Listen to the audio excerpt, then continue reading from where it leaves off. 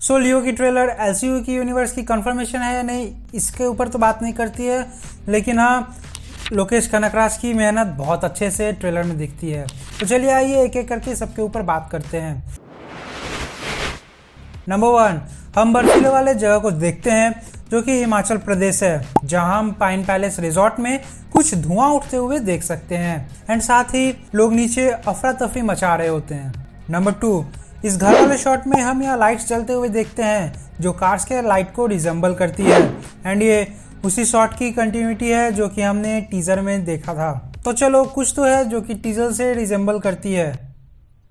तुम कह रहे हो कि animal number three new trailer के बिगनिंग में हम जो मोनोलॉग सुनते हैं, वो इसी मूवी में लियो के कैरेक्टर के ऊपर हो सकती है। उसने जो फायरिंग की थी, वो हम यहाँ इस शॉट में देख सकते हैं एंड साथ ही इसके पीछे पुलिस वाला भी खड़ा है। सो वॉट आई थिंक कि this would be a case of firing on wrong जिसकी वजह से लियो को एज ए ट्रेटर घोषित कर दिया जाएगा and will be force to leave the state number four यहाँ पर तुम कुछ लोगों को खड़े हुए देख सकते हो, जो कहीं जाने के लिए रेडी हैं। बट ध्यान देना कि कार्स पर तमिलनाडु की नंबर प्लेट है, जो इसको वो घर वाले सीक्वेंस से बिल्कुल अलग कर देती है।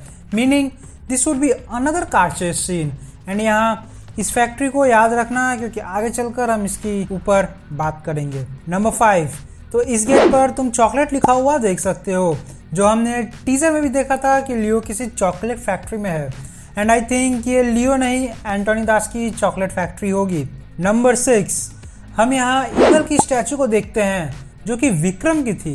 बट सिंस लियो को स्नेक से सिग्निफाई किया जा रहा है, उसके हंटर को ईगल से सिग्निफाई करना कोई गलत बात नहीं है। नंबर सेवन तो लियो जब हिमाचल से जा रहा होता है तो उसकी पिक क्लिक हो रही होती है और ये देखकर हमें नहीं लगता है कि वो अरेस्टेड है। ऑल्सो उसके साथ उसकी बेटी भी है। एंड अगर तुम थोड़ा सा और ध्यान दोगे तो उसकी वाइफ भी देखने को मिलेगी। सो विथ फैमिली वो लोग वहाँ से मूव कर रहे हैं वापस तमिलनाडु में, जो कि प्रोबेबली मूवी के थर्ड एक्ट की बिगनिंग हो सकती है और थर्ड एक्ट की एंडिंग तो थर्ड एक्ट की एंडिंग कहने के पीछे का एक रीजन है, जो कि मैं आगे चलकर तुम लोगों के साथ डिस्कस करूँगा।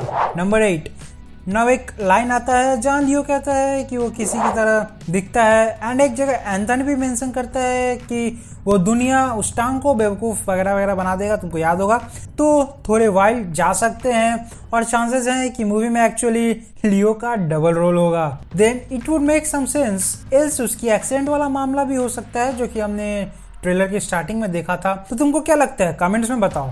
नंबर नाइन कारचेज वाली सीन हिमाचल में होगी, क्योंकि तुम यहाँ बोर्ड पर चंडीगढ़, न्यू दिल्ली, ये सब लिखा हुआ देख सकते हो। वैसे बोर्ड को rest in peace number ten तुम यहाँ पर लियो को कार्स के ऊपर फायर करता हुआ देख सकते हो, जो बताती है कि कार्स के आने की खबर लगने के बाद वो हिमाचल वाले घर में कार्स से पहले पहुंचेगा।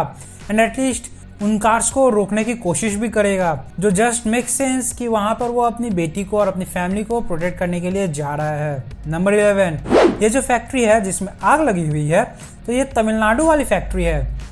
एंड जैसा कि मैंने पहले कहा था कि याद रखना तो आई थिंक कि लियो यहाँ आकर विलन्स को मार देगा एंड इसको आग लगाएगा which will be the end of second act of the movie and वहाँ से वो हिमाचल चला जाएगा। Which will start the third act of the movie and वहाँ से आगे चीज़ें कंटिन्यू होंगी, संजय दत्त का कैरेक्टर आएगा एंड फिर उसे वहाँ पे धोने की कोशिश करेगा। खैर, मेरी थ्योरीज ये है।